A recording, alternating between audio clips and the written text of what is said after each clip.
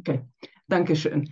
Also erstens muss ich sagen, dass im Judentum haben wir zwei ähm, Abteilungen, orthodoxes Judentum und progressives Judentum. Und ich gehöre zum progressives Judentum. Also die Meinungen, die Sie von mir heute bekommen, sind, Sie gehören zum progressives Judentum. Ich werde auch etwas über orthodoxes Judentum sagen und erzählen, aber hauptsächlich kommt es vom Stand, Standpunkt des äh, progressives Judentums. Und ähm, die, der größte Unterschied, glaube ich, zwischen die, die, die beide ist, dass im, im progressives Judentum haben wir Frauen als Rabbinerinnen. Und das äh, haben wir im orthodoxen Judentum eben nicht oder noch nicht. Es gibt hier und da, es gibt einige orthodoxe Rabbinerinnen, aber ich glaube, dass bis jetzt arbeiten sie noch nicht in Gemeinden, also sie sind noch nicht sind nicht wirklich von der orthodoxen Gemeinde an, äh, anerkannt. Also, aber hoffentlich kommt das auch. Äh, ja, das ist äh, genauso wie in, in verschiedene Teile des, äh, des Christentums. Ich weiß nicht genau, wie es funktioniert im, im, im Islam. Und ich freue mich schon darauf, dass ich, dass ich etwas hören kann über diese beiden Religionen, die ich wirklich nicht sehr gut kenne obwohl ich in einem Land lebe, wo, wo wir nominal sind, alle, sind die meisten Leute hier Church of England, aber ja, das bedeutet nicht, dass sie eigentlich christlich sind. Also ähm, im, im Judentum gibt es eigentlich keine etablierte Formulierung von Glaubensprinzipien, äh, die von allen Zweigen des Judentums anerkannt ähm, werden es gibt, wir, wir hören unterschiedliche Sachen im orthodoxes Judentum und in Reform und in progressives Judentum. Und äh, was man auch sagen muss, dass Reformjudentum, also reformliberales, progressives Judentum, existiert jetzt seit 200 Jahren. Und äh, als, als wir mit äh, Reformjudentum angefangen haben, im äh, äh, früh 19. Jahrhundert in, in Deutschland, da kommt auch, äh, da haben wir auch mit orthodoxes Judentum angefangen, weil orthodoxes Judentum kommt als Reaktion zu Reformjudentum. Vorher gab es kein orthodoxes Judentum, obwohl es viele Spaltungen auch vorher gab. Zum Beispiel, wir haben äh, äh, chassidisches Judentum im Vergleich zu Leuten, die gegen chassidische, chassidisches Judentum äh, stand, gestanden haben und, und so weiter und so weiter. Judentum fängt an als äh, eine hebräische Religion, eine israelitische Religion zur Zeit der Bibel.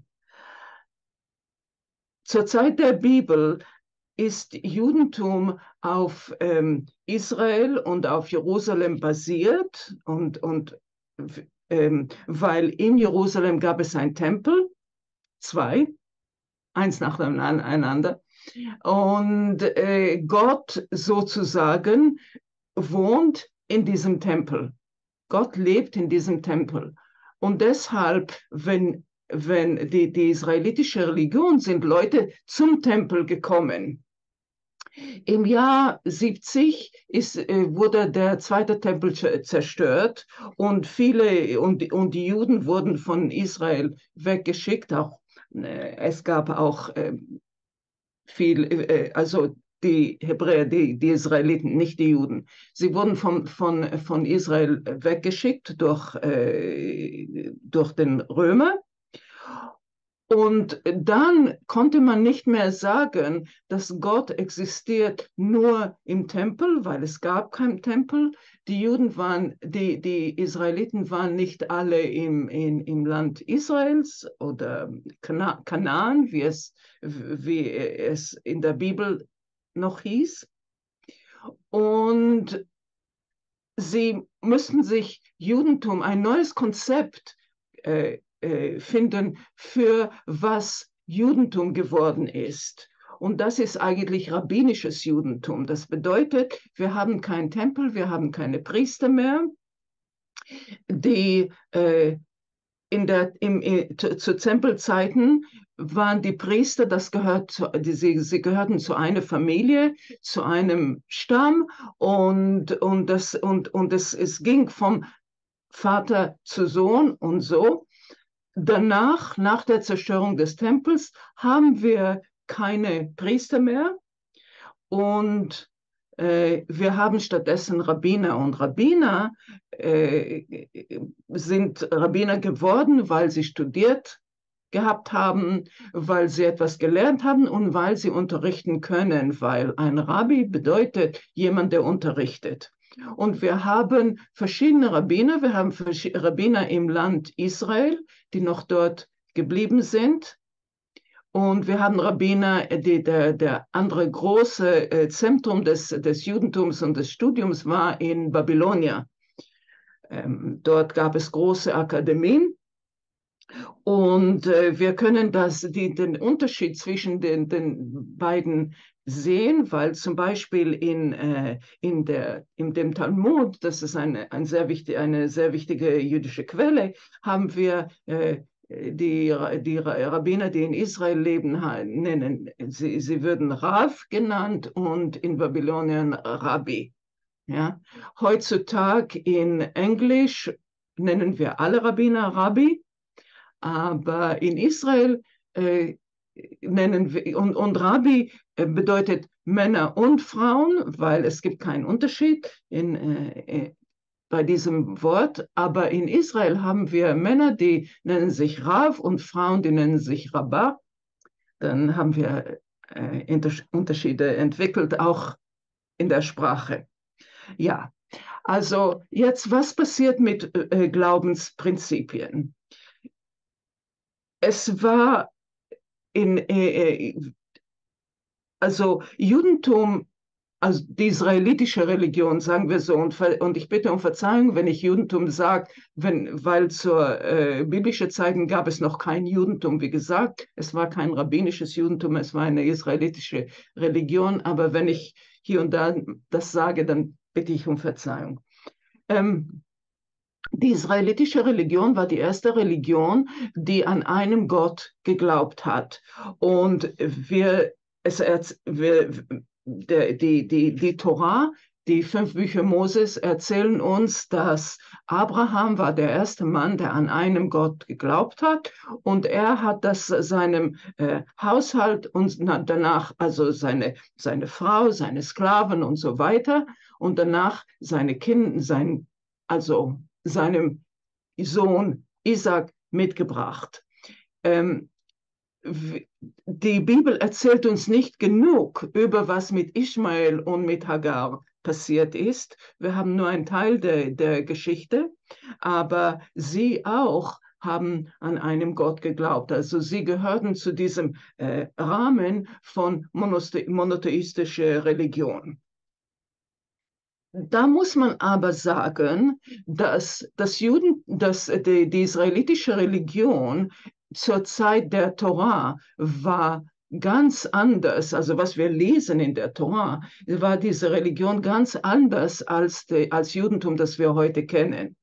Ja, und sogar als Judentum, das wir später durch die Propheten kenn kennenlernen. Weil in der Torah haben wir einen Gott, der ganz nahe ist an, an Menschen. Eigentlich gibt es eine Freundschaft zwischen Menschen und Gott. Und zum Beispiel ähm, Abraham hat, also er hat die, äh, zum Beispiel, da sind zwei, drei Leute gekommen und sind zu ihm gekommen und wir wissen nicht, ob sie eine Manifestation von, von, von Gott waren oder waren sie Engel. Es ist ganz unklar, weil die Torah erzählt uns das nicht. Aber äh, Abraham begrüßt sie, äh, wascht, ihre, wäscht ihre Füße, weil das sehr wichtig ist. Das ist ein Teil von äh, Willkommen in, in, der, in, in der alten Zeit. Und gibt ihnen auch etwas, vorbereitet etwas für ihnen zu essen. Ähm, sie, äh, äh, Abraham hat auch einen Dialog mit Gott viel später, wenn, äh, und ja, da äh, zum Beispiel sagt Gott, ich werde jetzt Sodom und Gomorra zerstören. Dann hat Abraham ein Gespräch mit Gott und sagt Abraham, also bitte Gott, äh, wenn es 50 äh, äh, gerechte Leute dort sein werde, werdest du trotzdem Sodom und Gomorra zerstören und dann sagt Gott nein, aber es gibt keine 50 und so weiter und so weiter. Bis am Ende kommen sie zur äh, die Zahl von 10 und, und man konnte keine zehn gerechte Leute in, in Sodom und Gomorra, und Gomorra finden und da wurde es, wurde, die, die, wurden diese zwei Städten zerstört. Aber Abraham war ein Gespräch mit Gott. Es war ein Dialog. Abraham konnte mit Gott reden. Äh, danach sehen wir, dass äh, äh, kommt die, die Bindung von Isaaks und wieder Gott ruft Abraham, er sagt zu Abraham, bitte geh, nimm deinen Sohn ähm, und äh, ihn als Opfer zu mir. Und Abraham, eigentlich in diesem Fall, gibt Abraham keine Antwort, macht Abraham keine Antwort. Ähm, aber es ist, wir haben das Gefühl, dass es wirklich ein ganz nahes, äh, eine ganz nahe Beziehung ist zwischen Abraham und Gott. Ähm, wir sind sehr froh, dass äh, in der letzten Minute hat, hat Gott zu Abraham gesagt, nein, rühr deinen Sohn nicht an und bitte äh, töte ihn nicht. Und ähm, das freut uns sehr. Ähm, und es freut mich sehr, weil jede, jedes Jahr, wenn wir zum Neujahr kommen und wir diese, diesen Teil lesen in, in unseren äh, Neujahr Gottesdienste, dann muss ich etwas, da, muss ich etwas da, darüber predigen und äh, es ist äh, sehr schön, dass ich immer sagen kann, aber Isaac wurde nicht getötet. Das ist sehr wichtig. Und seit dieser Zeit, dann sehen wir ein Prinzip vom Judentum und das ist, dass man bringt keine menschliche Opfer mit wieder. Also es, äh, wir lesen nicht genau, ob vorher im, im, im, in der israelitischen Religion der, da menschliche Menschen äh, als Opfer gebracht wurden. Aber wir wissen, das war ein Teil von Kulturen ringsherum. Und hier haben wir ein neues Prinzip, das, ist, äh, das kommt von dieser Geschichte, dass wir haben kein, kein Menschenopfer. Okay, dann Später dann äh, entwickelt sich äh, die, die Beziehung zwischen Israel und, und Gott und wir haben letztendlich haben wir Israel in, in Ägypten und irgendwann kommt Moses und will und wird die äh, Israeliten retten. Moses ist schon ganz klar ein gehört zur israelitischen Religion, obwohl in, in, äh, in, in einem, im Haus von der ägyptischen Prinzessin aufgewachsen ist. Und das ist auch eine, eine sehr interessante Geschichte, wie er äh, trotzdem zur israelitischen Religion gehört, aber das, ist, das gehört nicht hier in diesem Moment. Ähm, aber Moses hat ein Dialog, ein Gespräch mit Gott noch enger als Abraham eigentlich. So, so viel, das ist so, und, und, und zum Beispiel manchmal ist Gott sehr wütend mit, mit den Israeliten und sagt, jetzt werde, sich, werde ich alle zerstören und dich, Moses, mache ich in, in, zu einem großen Volk. Und Moses sagt zu Gott, aber Gott, das kannst du nicht machen. Was werden alle, andere Völker darüber denken? Ja, das ist der Niveau vom Gespräch. Dieser Niveau erreichen, erreichen wir nie wieder und Gott äh, und die, die, die Beziehung zwischen Gott und Menschen wird, äh, äh eng, wird weniger und weniger eng und äh, die Gott und, Gott und Menschen kommen, sind weiter, ähm, äh, sind nicht mehr, äh, sie sind weit auseinander. Und dann kommen wir, wenn wir zu Propheten kommen, die Propheten haben nie einem, ähm, diesem, diese, diese persönliche Beziehung mit Gott. Aber die Propheten bringen das Wort Gott und wir, glaub, und wir glauben daran, dass es war irgendwelche Offenbarung, aber nicht dass die Propheten, dass Gott sagt ihnen das direkt, sondern dass Gott, es kommt in einen Traum oder irgendwie bekommen sie diese Nachricht und sie können Gott nicht antworten. Sie haben nicht die Möglichkeit mehr mit Gott zu sprechen. Aber diese Offenbarung, an diese Offenbarung glauben wir. Und dann kommt die interessante Frage, dass wir zwischen, äh, dass wir äh, inzwischen in diesen verschiedenen Spaltungen in, in, in Judentum haben. Ist die Offenbarung wirklich das Wort Gottes? Oder nicht. Und es gibt Leute, die sagen, dass es ist, und es gibt andere, die glauben, dass es nicht so genau das Wort Gottes ist, sondern es ist, wie die Propheten das verstanden haben. Und haben wir noch immer Offenbarung? Ja, und das ist eine sehr interessante Frage, weil, wie gesagt, wir haben jetzt Judentum, wir haben die alten Propheten, die zur Zeit des Tempels oder die beide Tempel gelebt haben, sind nicht mehr mit uns.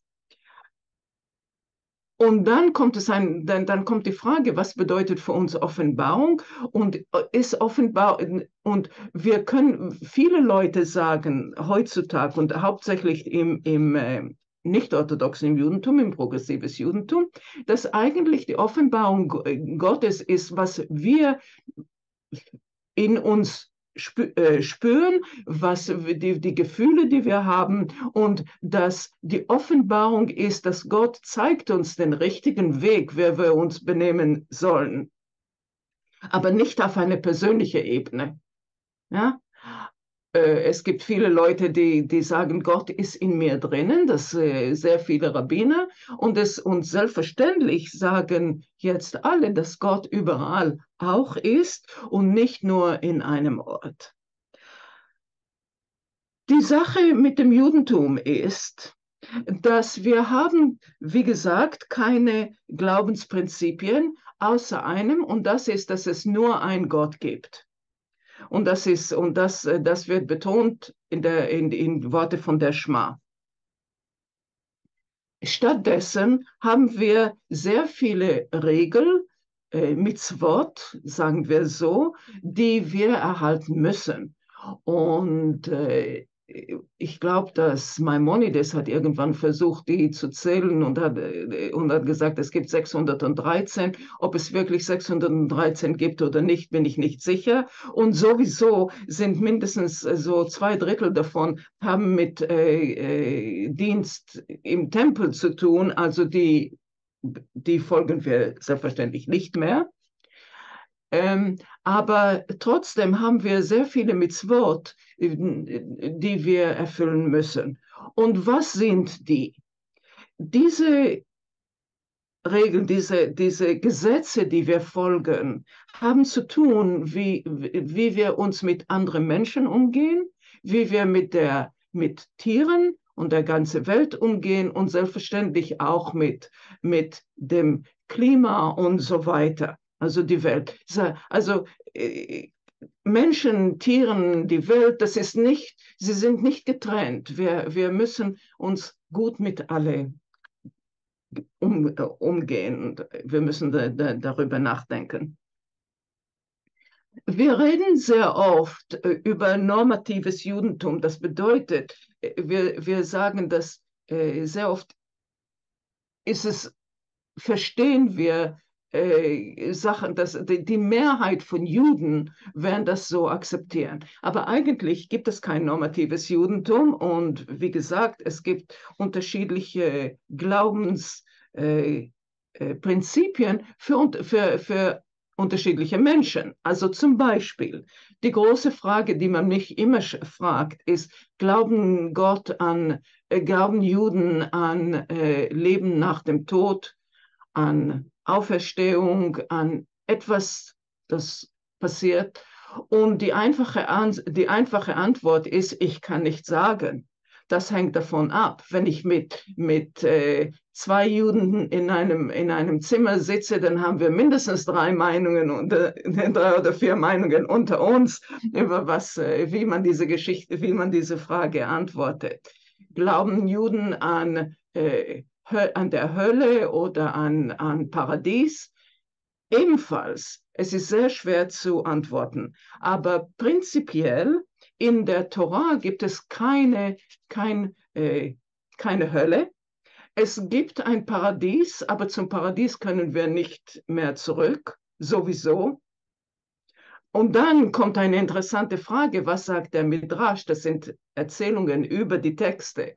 Was sagt der Midrash? Und da kommen wir zurück zum Paradies. Aber das gehört nicht zu, würde ich sagen, normativen Judentum. Oder was wir heute diskutieren, weil das ist dann äh, äh, Exegete und, und solche Sachen sind sehr faszinierend, aber nicht, äh, nicht von allen Leuten akzeptiert. Aber die Sache ist, die Sache ist, dass wir haben kein Glauben in Hölle. Also das bedeutet, dass wenn wir, wenn wir über Gott denken und wir denken, wird Gott uns äh, einen Lohn geben, wenn wir an Gott glauben, wenn wir machen, was Gott sagt, ist die Antwort wieder, das hängt davon ab, mit wem ich rede. Aber es gibt viele Juden, die werden sagen, eigentlich nicht. Der Lohn kommt vielleicht durch, von uns, wie wir es sehen. Gut.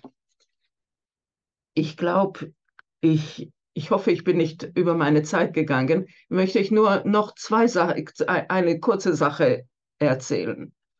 Wir haben einen Tag, der sehr wichtig von uns, für, für uns ist. Das ist im Neujahr und das heißt Yom Kippur. Das ist das Tag, der Tag der Versöhnung was machen wir da? Was machen wir da? Und es ist sehr interessant, weil was wir machen für 25 Stunden oder 25 Stunden, wir stehen vor Gott und wir sagen, Gott, bitte verzeih uns. Für was? Für alle unsere Sünden im voriges Jahr.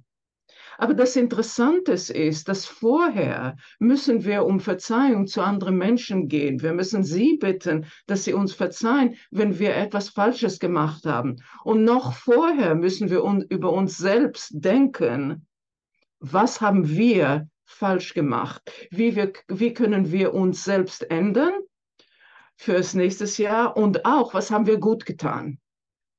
Und wir haben, äh, wir glauben daran, und ich also nicht alle, selbstverständlich, aber sehr viele Jude, Juden akzeptieren das, dass am, zur Zeit Yom Kippur wird Gott uns nicht hören können, wenn wir nicht vorher unser, äh, unser Frieden mit anderen Leuten äh, gemacht haben, wenn wir nicht vorher zu anderen Leuten gegangen sind und gesagt haben, schau, bitte, ich habe dir etwas ich, ich habe dir wehgetan, ich habe etwas Falsches getan, ich bitte um Verzeihung.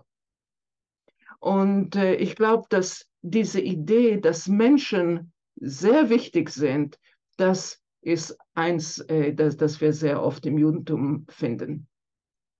Es gibt, es gibt selbstverständlich viel, viel mehr zu sagen, aber vielleicht, wenn Fragen kommen, dann können, kann ich etwas mehr sagen, danach sagen.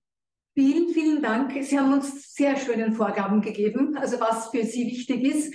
Ähm, danke, weil wir, gehen dann weiter zur, ähm, zur christlichen Theologin. Einfach in der, in, das, in, der, in der Chronologie ist jetzt die nächste. Ähm, ja, bitte. Hören Sie mich ganz gut? Ja, super. Ähm, ja, wie gesagt, ich bin systematische Theologin und manchmal bin ich so ein bisschen versucht, dann etwas zu kompliziert zu werden. Aber wir haben ja dann die Gesprächsmöglichkeit, wenn ich das bin. Und nachdem die Frage, die mir gestellt worden ist, eine eigentlich sehr persönliche war, wie ich meinen Glauben verstehe, denn ja, das Herz dieses Glaubens, ähm, möchte ich auch mit einer, quasi mit eigentlich zwei persönlichen Einstiegen beginnen. Etwas, das mich sehr beschäftigt, eigentlich immer noch, sind meine ersten Tage im Theologiestudium, damals in Wien. Und ähm, meine zwei Kommilitoninnen, mit denen ich damals viel unterwegs war, haben mich einfach so beiläufig gefragt, so ganz, ja, normal. Und Michaela, kommst du auch aus einer sehr gläubigen Familie? Und ich denke mir, okay, eigentlich sind wir ganz normal zu Hause und nicht irgendwie besonders spirituell oder besonders irgendwie, äh, ja, wie auch immer. Also, und das hat mich, im Grunde beschäftigt es mich bis heute. Also, wie, wie fromm muss ich sein? Was ist das Kriterium dafür, gut genug zu sein? Und was das heißt es eigentlich? gläubig sein oder ja, was ist quasi dann genug, dass man sich als Christin bezeichnen darf oder irgendwie Theologie studieren darf, unter Anführungszeichen. Denn bei mir in, ja, in meiner Heimatpfarre, da war man halt einfach, wie man ist. Da, für die einen war halt der Rosenkranz sehr wichtig, für die anderen, die anderen hat man nur hier und da in der Messe gesehen. Manche sind eingefleischte Radio Maria-Fans, die anderen können damit gar nichts anfangen. Aber irgendwo so eine Art Glaubenscheck, so, wie hältst du es jetzt damit? Bist du fromm genug? Gab es eigentlich nie. Und daher diese Frage so ganz aus heiterem Himmel. Und das einzige Kriterium, das es immer gab und bis heute eigentlich gibt, ist, es ist kein Platz für Fanatismus. Und damit ist gemeint, ähm, kein Platz, die für Positionen, die anderen absprechen, nicht gut genug zu sein oder zu wenig zu sein. Nur weil man selbst für sich beansprucht, irgendwie der Wahre oder die Wahre zu sein. Und daher hat mich diese Frage sehr verstört und beschäftigt mich eben bis heute sehr. Was ist genug? Ein paar Jahre später war ich dann in Birmingham und war dort in meinem Umfeld manchmal die einzige Christin. Und in meiner WG haben zwei Chinesinnen auch gewohnt. Und eines Tages hat mich meine Kollegin dann gefragt, so in der Küche, so nebenbei, ja, Michaela, was magst eigentlich du da in Birmingham? Ja, ich studiere Theologie, Theology. Und dann schaut sie mich so an, ah, das ist das mit den Steinen, oder? Und ich immer, okay, was sage ich denn jetzt drauf? irgendwie so in der Archäologie vielleicht ein bisschen Steine. Ähm, naja, und dann sage ich, nein, eigentlich das mit Gott oder so. Und dann schaut sie mich wieder so an und sagt, Gott? Was, was ist denn das bitte? Also jetzt auf Englisch so, what do you mean by that? God? Okay, jetzt wird es schwierig. Also was erkläre ich denn jetzt, was ich da eigentlich mache und irgendwie nicht nur studiere, sondern auch irgendwie lebe oder so. Also was tut man, wenn, wenn man im, beim Gespräch nicht, also auch ja, der Begriff Gott irgendwie nichts ist, nicht einmal irgendwie Bedeutung verloren hat, sondern vielleicht nie da war. Und das ist sehr herausfordernd. Und wir leben, glaube ich, zusehends ja, in einer in Gesellschaften, wo das auch so ist, also dass Gott nicht einfach nur verloren ist, wo vielleicht nur zumindest eine Hülle da ist, sondern wo das völlig weg ist. Und diese zwei ja, Begegnungen prägen mich in meinem Verständnis und auch von Glaube und auch in meiner täglichen Arbeit, wo ich ja Fundamentaltheologin bin und es meine Aufgabe ist, Glauben vernünftig zu begründen, ins Gespräch zu kommen. Ich sage manchmal, ich bin die Außenministerin Und ähm, ja, die, deren Aufgabe ist es, ins Gespräch zu kommen mit den unterschiedlichen Positionen, Gruppen, Menschen und so weiter. Nun, was ist Glaube dann also für mich? Ich glaube, für mich ist Glaube ein tiefes Vertrauen, dass die Welt und alles Leben in ihr getragen ist von Gott, dem Lebendigen, der sich in und durch die Geschichte hindurch immer wieder dem Menschen zeigt, mit Menschen in Beziehung tritt, und von dem die Schrift Zeugnis ablegt. Insbesondere von diesem Beziehungsgeschehen und Begegnungsgeschehen zwischen Gott und Mensch. Und dieser Glaube an Gott, den Lebendigen, der verbindet mich auch dann mit einer Gemeinschaft, in deren Reden, Tun und Nachdenken über die Jahrhunderte Traditionen, Lehrpositionen entstanden sind und auch verbindliche Lehrtraditionen entstanden sind, die man dann Dogmen nennt und die man aus meiner Sicht als ja, vielleicht auch Leitplanken verstehen kann. Also wenn man darüber hinausgeht, dann wird es gefährlich quasi, in Abgründe zu gehen. Und zu Glaube gehört für mich auch, oder ja, gehört aus christlicher Perspektive, aus meiner Perspektive, gehören auch wesentlich Rituale dazu oder ja, dann besonders Sakramente im Katholischen, nämlich die sieben Sakramente, die ich verstehe als ja, Kristallisationspunkte oder als Knotenpunkte im Netzwerk des Lebens und des Glaubens. Also Leben und Glauben, das gehört für mich ganz eng zusammen. Ähm, quasi, ja, in denen sich etwas ganz besonders verdichtet in Taufe, in Eucharistiefeier. Das sind Feiern, Feiern der Gemeinschaft, aber auch Feiern, in denen Gemeinschaft auch immer wieder neu entsteht und neu bestärkt wird, ähm, wo wir feiern, was wir glauben eigentlich, also quasi die Überzeugungen, die Glaubensüberzeugungen, aber auch wozu wir gerufen sind, wie wir in dieser Welt leben sollen, also die entsprechende Ethik und Praxis. Also Weltanschauung, Glaubensüberzeugung und Handeln, die entsprechende Ethik, die sind eng miteinander verbunden. Dazu möchte ich dann ein bisschen mehr noch sagen dann später zu dieser Verbindung. Und zu Glauben gehört aber nicht nur quasi dieser Höhepunkt, diese, oder diese wiederkehrenden Höhepunkte der Rituale, die besondere Brennpunkte sind oder besondere Kristallisationspunkte, sondern auch die Gestaltung des Alltags auf je eigene Art und Weise. Ähm, also die Einbettung, die Einbettung des Glaubens in das, was ich bin. Und indem ich zum Beispiel manchmal eine Kerze anzünde oder einfach nur ein Wort, ein Gedanke.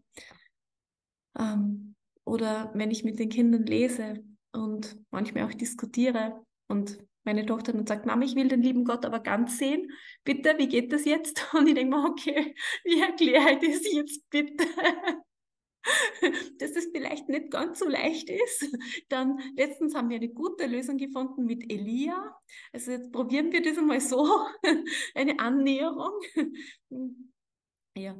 Und zum, zu diesen Diskussionen und Auseinandersetzungen gehören natürlich auch dann auch Momente des Zweifelns und des Haderns. Und das ist für mich etwas, das sehr stark auch zum Glauben dazugehört. Glaube ist nicht eine Sicherheitsmauer gegen alles, sondern wenn unser Thema ist, was ist wirklich wichtig, dann gehört zu diesem Erkennensprozess, was wirklich wichtig ist, auch dazu, ja, in Konflikten, Auseinandersetzungen, in Krisen loslassen zu können, was eigentlich nicht ganz so wichtig ist.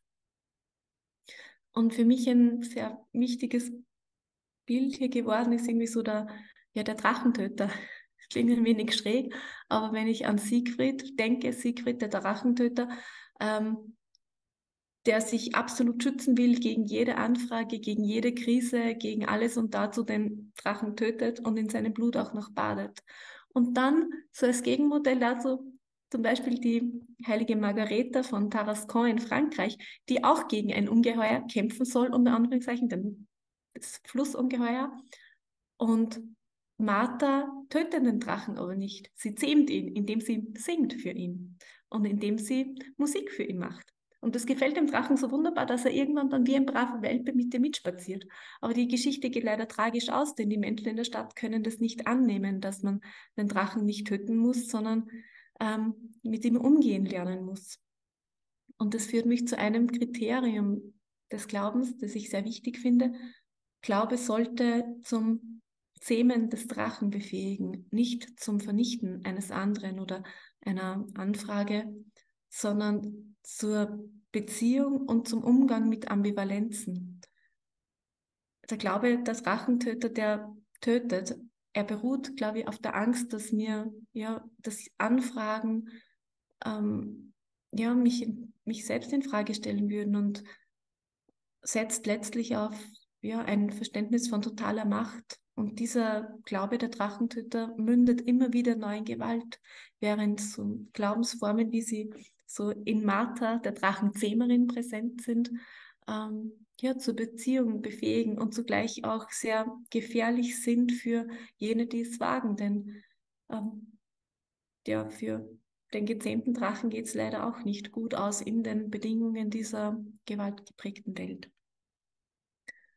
Also Hadern und Zweifeln, ein Umgang mit Ambivalenzen, der mir sehr wichtig erscheint im Glauben.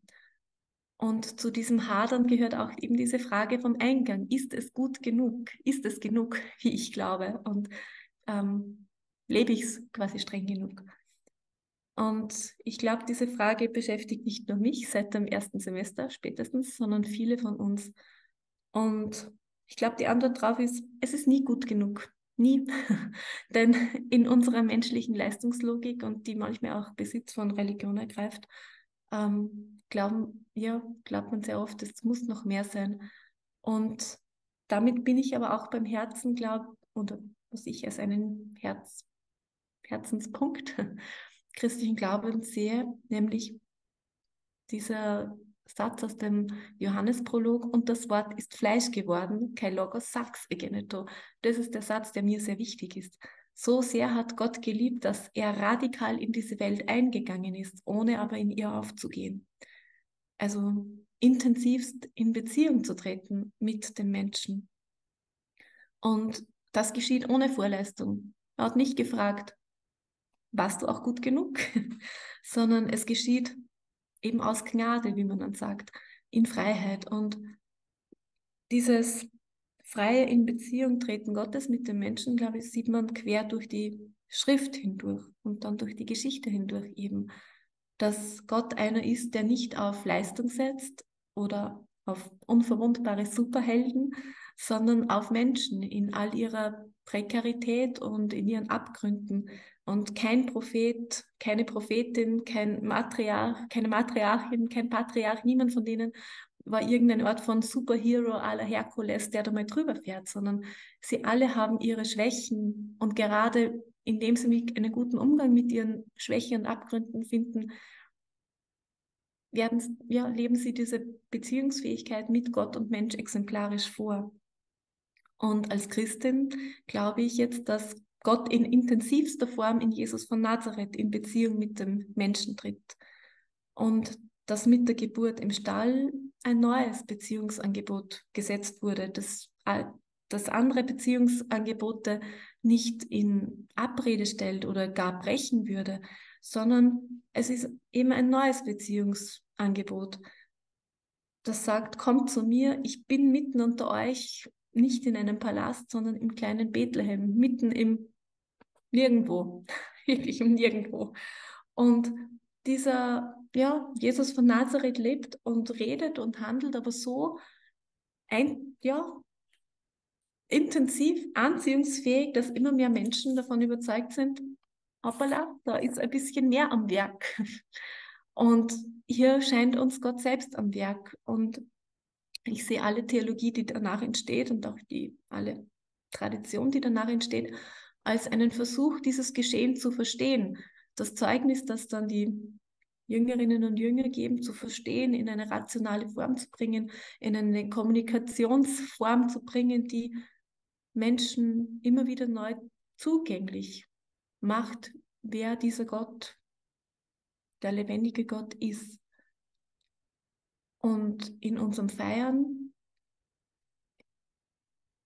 wird das immer wieder neu aktualisiert. Und besonders intensiv eben zum Beispiel in der sonntäglichen, ja, in der Eucharistiefeier, wo ähm, ja, wo zum Beispiel Augustinus dann gesagt hat, werdet, was ihr seht, empfangt, was ihr seid, Leib Christi. Und ich lese das so, in jeder Eucharistiefeier wird dieses freie Liebesgeschehen, dieses Beziehungsgeschehen gegenwärtig. Und zugleich ist damit aber der Auftrag verbunden, macht es ebenso. Handelt entsprechend dieser freien Liebestat Gottes in der Welt und ja, werdet so zu wahren ja, wahren Menschen im Grunde. Und für, sehr schön fasst es für mich zusammen ein Gedicht von Hub Osterhuis, äh, dem Niederländer, der sagt, wer hier zu dieser Stunde seine offene Hand hinhält, Brot nimmt und isst, sagt damit, dass er eine neue Welt will, wo Brot und Freiheit ist für alle Menschen. Und das ist was ganz was Entscheidendes. Christin bin ich nicht für mich allein oder nur für mich oder das, sondern es ist der Auftrag, mit allen in Beziehung zu treten, mit der gesamten Welt. Oder man kann es auch kosmisch weiten, so wie Laudato Si. Ähm, das heißt, diese Menschwerdung Gottes als intensivste Beziehungstat Gottes ist die Einladung, tretet auch ihr in Beziehung zueinander, werdet füreinander Brot, werdet einander zur Freiheit. Und das heißt, ich kann nicht Christin sein ohne den anderen. Und das ist eigentlich mein letzter Punkt. Was heißt Christin sein in Beziehung? Ähm, alle mystischen Wege in den Religionen verbindet die Sehnsucht nach der Einheit, nach der Einheit mit dem Göttlichen. Und diese Einheit ist nicht ohne den anderen zu finden und erst letztlich im Esradon in der Vollendung zu erhoffen. Und wenn ich sage christlich, Glauben heißt nicht ohne dich glauben, dann bringt es zum Ausdruck, dass ganz wesentlich einmal christlicher Glaube im Jüdischen wurzelt. Also bei Paulus heißt es ja, die Wurzel trägt dich. Und alle großen, die, unsere drei großen Traditionen, Judentum, Christentum und Islam, haben seit der Spätantike ein konfliktives, aber auch ein produktives Miteinander, ähm, das auf vielfältige Weise untereinander verschränkt ist. Und ich kann nicht Christin sein, ohne mich positiv auf die jüdische und die muslimische Tradition und jüdischen und muslimischen Glauben zu beziehen und im kritischen Gespräch auch mit und voneinander zu lernen. Und besonders schön erlebe ich das zum Beispiel beim Scriptural Reasoning, wo mir dann mitunter mein muslimischer Kollege erklärt, na, wie Christus, das schaut da ein bisschen so aus, du musst da genauer hinschauen, ich sehe das so. Oder meine jüdische Freundin dann sagt, naja, na, so nicht, ich sehe das ganz anders. Und dann kann ich sagen, naja, nehme ich mir vielleicht einmal mit. Manchmal braucht man ein bisschen länger und manchmal muss man auch sagen, na, kann ich leider nicht mit. Und genauso darf ich aber das da drinnen sagen. Und der Gründer Peter Oaks sagt ja, Scripture Reasoning heißt from heart to heart, also vom Feuerplatz, vom Kamin zum Kamin zueinander sprechen, einander zu wärmen, einander zu nähern und dann wieder, wieder zu gehen und in der Welt zu wirken. Also ich sehe das im schönsten und im besten Fall als ein im Vertrauen mit und aneinander werden.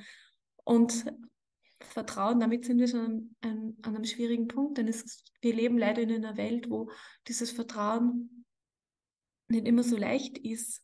Was tue ich, wenn ich in einer Welt oder in einer Umgebung lebe, wo ich quasi eben nichts lebe. Oder letzten hatte einen Studenten bei mir zu Gast, der dann sagte, ich habe jetzt gearbeitet in einem Umfeld, wo keine Gesellschaft mehr vorhanden ist, wo nur noch Gewalt ist. Wie soll da noch Gespräch möglich sein? Wie können wir überhaupt so etwas aufbauen? Und dann blicke ich zu den Propheten oder ja, zu den, die dann sagen, gerade in dieser, in dieser Vernichtung oder in, im Angesicht der Apokalypse muss ich trotzdem hoffnungsvoll Ja sagen, ein Bäumchen pflanzen, eine Blume sehen, quasi, ja, jesuitisch heißt es dann contra agere, das andere sehen. Und ein, ja, im Angesicht der Verzweiflung trotzdem Ja sagen und es versuchen, weiterzugehen. Und die letzte Frage war ja, was ich vermisse. Bei mir ist schon manches angesprochen worden, nämlich die schiefen Wände des Lehrhauses.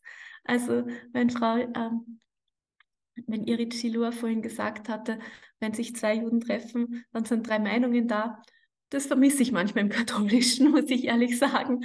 Wirklich. Ähm, also diesen Austausch und auch den Mut zum Widerspruch und dass dieser Widerspruch jetzt nichts Schlimmes ist oder nichts Böswilliges, sondern dass man gerade in widerstreitenden Lehrmeinungen und Positionen etwas Wertvolles entdecken kann. Vielleicht nicht heute, aber dass vielleicht eine Zeit kommen kann, in der gerade diese heute so widersinnig scheinende Position uns etwas Wichtiges zu sagen hat.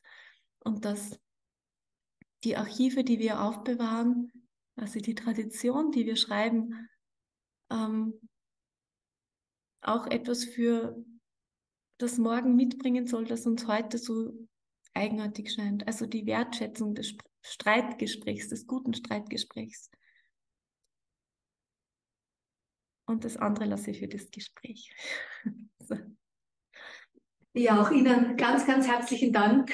Ähm, es ist so wunderbar weitergegangen, wie es begonnen hat. Und ich freue mich jetzt auf die Frau Dr. Wohagegi, ähm, die jüngste sozusagen von der, von der Geburt ihrer Religion ja, dass Sie uns etwas von Ihrem Herzstück erzählen. Ja, vielen herzlichen Dank. So Betonung auf Jüngste in der Religion, jetzt nicht äh, Jüngste in meine Person, das stimmt gar nicht.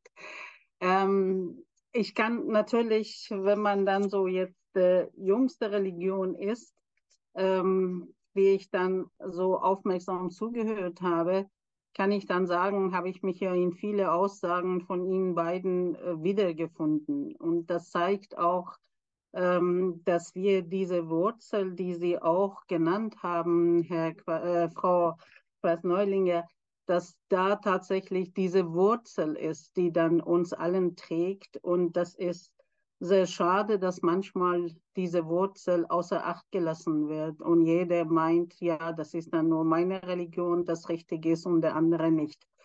Ähm, wir sollten ja äh, auch persönlich äh, dann etwas sagen oder beginnen und ähm, ich denke, dass dann die Religion, der Glaube ist ja etwas, was dann so sehr emotional und biografisch ist, wie man dann damit aufgewachsen ist, wie man das dann so in der Wiege mitbekommen hat und äh, wie man dann zurückdenkt, ob man erschreckend ist, äh, was, was man so in der Wiege bekommen hat, oder ist es dann tatsächlich etwas Positives.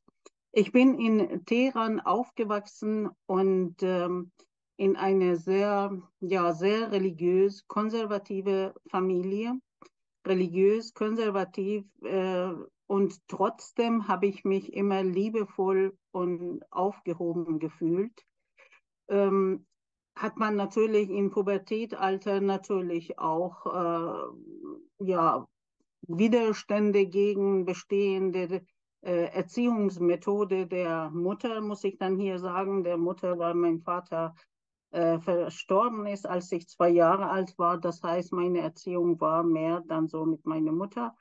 Und äh, dennoch habe ich mich immer gut aufgehoben und in Sicherheit gefühlt. Und das ist etwas, das auch sehr stark, obwohl ich damals äh, einen Gott kennengelernt habe, der ja, aufpasst, ob ich was Gutes oder was Schlechtes tue und schreibt alles auf und ich werde dann äh, am jüngsten Tag äh, vor Gott stehen und dafür Verantwortung tragen.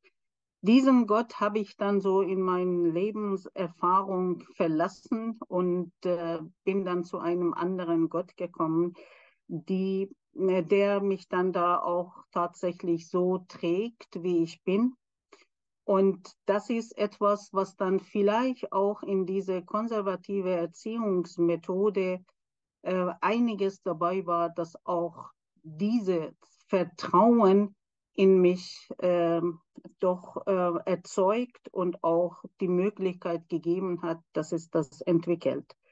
Für mich ist der Glaube Vertrauen, sich in Vertrauen in Gottes Hand zu geben und für mich ist es ganz äh, wichtig, ein Vers aus dem Koran, in dem Gott dann so seine Nähe zu Menschen in der Form ausdrückt. Ähm, ich bin euch näher als eure Halsschlagader. Ruft mich, ich bin da. Und dieses Vertrauen, dass dieser Gott da ist und äh, egal äh, wie ich bin, er hat nicht gesagt, oh, oh du gute Mensch, ruf mich, ich bin da, sondern wirklich zu allen Menschen gesprochen. Und seine Nähe, die, dieses Bild, dass er uns näher ist als unsere Halsschlagader, ist ein sehr starkes Bild, äh, das von einem Gott spricht, der mit seiner Barmherzigkeit die Menschen begleitet. Und es ist ein Gott, der auch äh, geduldig ist. Es ist ein Gott, der aushalten kann, wenn man mal zornig ist, wenn man mal Fragen hat, wenn man ähm, am Ende der Kräfte ist und meint, es geht nicht mehr weiter. Und das ist, was wir auch durch die Erzählungen im Koran, ähm, äh, Sie haben, Frau Schiller, von Abraham gesprochen. Und dieses Abraham-Bild ist auch im Koran. Abraham als Auserwählte Gottes in der islamischen Tradition als Prophet nicht ein gewesen, der gesagt hat, ist alles gut, ich mache alles, was du willst, sondern er hat auch mit Gott gehadert. Er hat auch Gott gefragt. Und äh, ich finde eine Stelle in zweite Sura im Koran, äh, wo über Tod und dann wieder lebendig machen äh, die Rede ist. Und Abraham sagt zu Gott, zeig mir, wie du dann die Toten wieder lebendig machst. Und Gott antwortet, glaubst du nicht? Abraham sagt, doch, äh, glaubst du nicht, dass ich das kann? Abraham antwortet, ich glaube das, aber ich möchte, dass mein Herz beruhigt ist. Das heißt, auch in seinem Herzen ist es ein Platz gewesen für Zweifel, ein Platz gewesen für etwas, was er nicht verstehen kann. Und er hat durchaus die Möglichkeit und weiß, dass Gott auch das aushalten kann und fragt ihm und will dann Antworten darauf haben. Und das ist ein Gott, das ähm, mich dann jetzt, äh, seitdem ich, das ist dann so etwas später als meine, äh, meine ja, Jugendzeit gewesen, dass ich dann wirklich mich damit äh, auseinandergesetzt habe, auch mit der Theologie dann auseinandergesetzt habe, weil ich auch verstehen wollte, warum dann so bestimmte Gebote gibt, warum dann so bestimmte Rituale gibt ob dann diese fünfmalige Gebete am Tag dafür ist, dass man der, dass Gott dann die Menschen ärgern wollte, dass sie dann jetzt fünfmal am Tag sich äh, vorbereiten und vor ihm stehen und beten, oder hat dann das Gebet tatsächlich auch eine andere Bedeutung für Menschen? Und das sind Dinge, die ich dann durch äh, Theologiestudium dann äh, viel tiefer hineingegangen bin und so trage und fühle ich mich dann noch ähm, gestärkt, viel gestärkt äh, in, in diesem Vertrauen in Gott und in Vertrauen auch besonders in sehr schwierige Situationen. Ob dann so schwierige Situationen in persönlichen Leben sind oder schwierige Situationen wie dann äh, Krisensituationen, wie dann schrecklich wir diese Tage auch äh, erleben, dass man zornig ist, dass man traurig ist und dass man in diese schlimmsten Zeiten jede Form von Hoffnung verliert und hilflos ist, weil man nicht weiß, was man machen kann, um die Situation zu ändern. Und das ist dann diese tiefsten innere Zuversicht, dass es doch irgendwann gut wird, wenn auch nicht so jetzt gleich und wenn auch im Leben immer wieder Situationen sind, äh, dass man doch wieder äh, zurückgeworfen wird. Aber diese tiefe Zuversicht, dass es doch besser wird oder gut wird und es lohnt sich dafür auch etwas tun. Und nicht nur es lohnt sich, sondern das verstehe ich auch im islamischen Menschenbild, das ist sogar die Aufgabe der Menschen, dafür zu arbeiten. Also dieses Vertrauen in Gott bedeutet nicht, dass man sich zurücklehnt und sagt, ja, Gott macht das, sondern wir als mit der äh, islamische Begriff äh, gesprochen als Statthalter Gottes auf diese Welt auch die Aufgabe haben, dafür zu arbeiten. Und das ist etwas, was auch in den Ritualen im Islam für mich ganz wichtig sind. Diese Gebete, Gebet im Koran steht dann immer im Zusammenhang mit dem Begriff Zakat, die de, diese Abgabe an bedürftigen Menschen. Und das ist dann symbolisch. Es geht nicht nur um materielle Abgabe an Menschen, die schon an gewisser Teil festgelegt ist.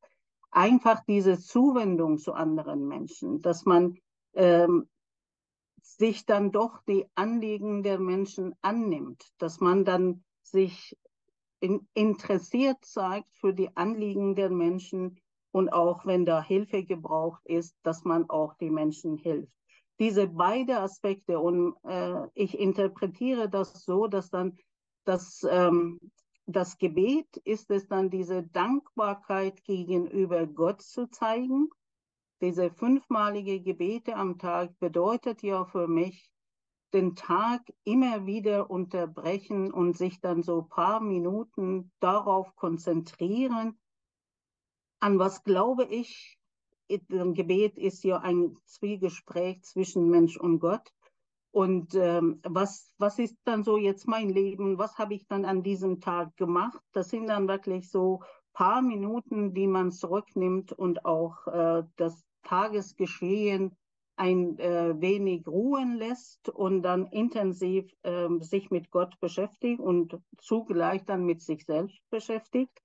Und ähm, und dann gleichzeitig sagt, dann, wenn dann diese be beide Begriffe nebeneinander stehen, das heißt Zakat, diese Abgabe an, an Bedürftigen, ist es auch der Dankbarkeit gegenüber Gott nicht nur zeigen, sondern Dankbarkeit in der Form zeigen, dass man für das, was man von Gott bekommen hat, auch ähm, abgibt, Teil davon abgibt, weil dann so von vornherein auch andere Menschen, vor allem Menschen, die sich selbst nicht versorgen können, es ist nicht jetzt äh, ein Wohltat, der man macht, weil man ein guter Mensch ist, sondern in vor, von vornherein haben die Menschen, die in der Gesellschaft bedürftig sind, ein Recht, etwas zu bekommen von der Gesellschaft, von Menschen, damit sie auch versorgt werden.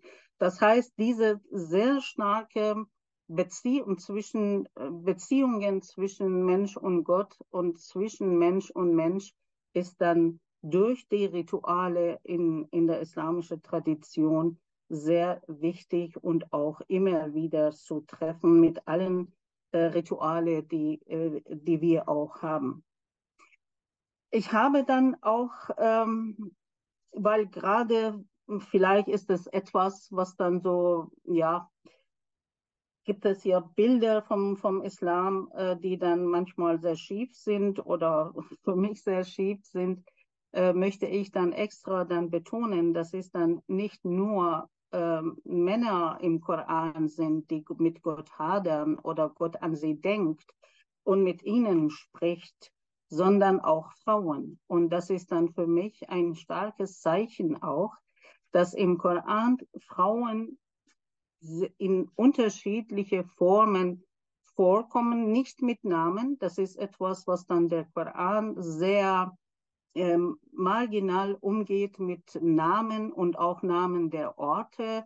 Das heißt, die Erzählungen, die wir im Koran haben, die wir dann durchaus auch in, sind Erzählungen, die wir zum Teil auch in der Bibel haben, aber nicht so ausführlich wie in der Bibel wird im Koran erzählt, sondern Aspekte der Erzählungen wird im Koran wiederholt oder anders erzählt. Und das ist dann auch ein Zeichen dafür, dass dann der Koran sagt, ihr kennt das ja, weil ja auch äh, diese, dieser Dialog mit Juden und Christen auch damals auf der arabischen Halbinsel vorhanden war, dass man die Geschichten eigentlich kannte und musste dann jetzt nicht alles nochmal ähm, genannt werden und nicht so ausführlich, sondern Aspekte.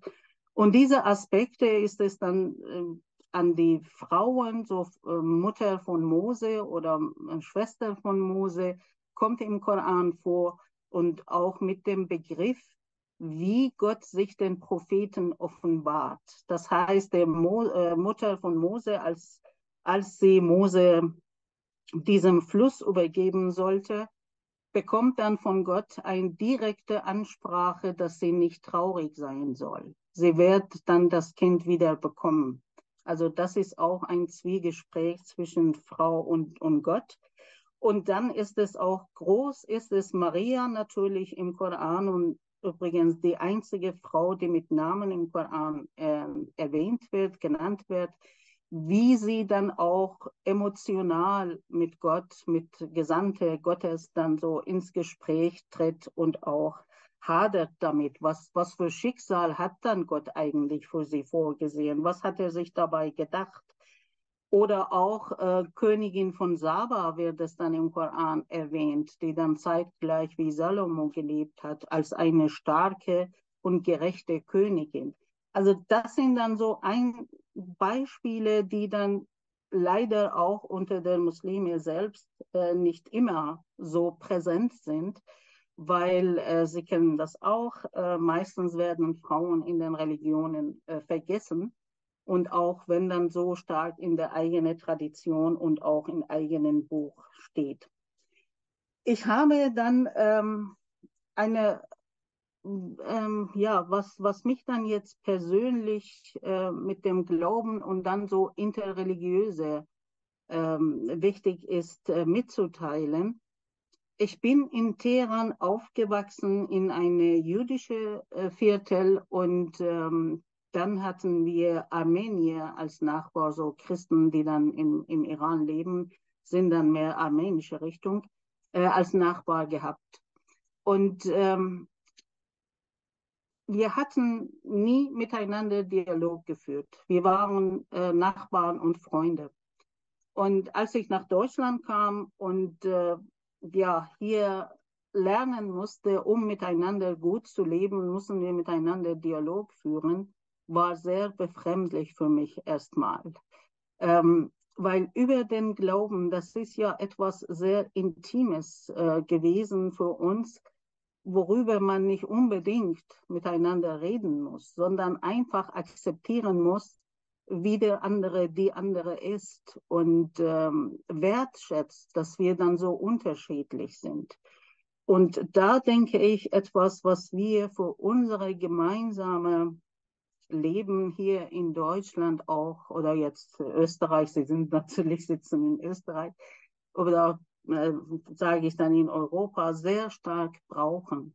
Nicht diese ja auseinandergehen und sagen, du bist der und die und ich bin der und die und schon gar nicht in so eine äh, Situation kommen, um auch ähm, miteinander vergleichen wollen, in dem Sinne, welche ist besser, welche ist schlechter, äh, sondern dass wir uns als Mensch uns gegenseitig wahr und ernst nehmen und dass wir dann gemeinsam, gerade jetzt in unserer Zeit, wir leben ja in einer sehr ja, krisenreiche Zeit, dass wir einander brauchen und ähm, dass wir dann gemeinsam die Traditionen, die wir jetzt auch, die drei, die wir jetzt nebeneinander stellen, sehr viel uns geben, dass wir auch wirklich als Menschen zusammenkommen und miteinander für das Gute arbeiten. Ich fand es am Anfang auch sehr schön, dass Sie dann äh, bei der Vorstellung von Frau Quas-Neulinger gesagt haben, dass Sie dann scheinbar stark machen, diese positive Ressourcen, die auch die Religionen sind und haben, diese Potenziale, die ähm, Religionen haben für das gute Zusammenleben. Ich denke, das ist die Aufgabe oder das Gebot der Stunde, dass wir alle gemeinsam daran arbeiten. Wir haben hier, ich sitze in Hannover, wir haben ein Haus der Religionen in Hannover und in diesem Haus ist auch die Aufgabe, den Kinder und Jugendliche, es sind sehr viele Schulklassen, die zu uns kommen, vermitteln, dass dann die Unterschiede, diese Differenzen nichts Schlimmes sind. Ich finde es toll, wenn Sie sagen, wenn drei Juden, äh, wenn zwei Juden zusammensitzen, dann äh, gibt es drei Meinungen.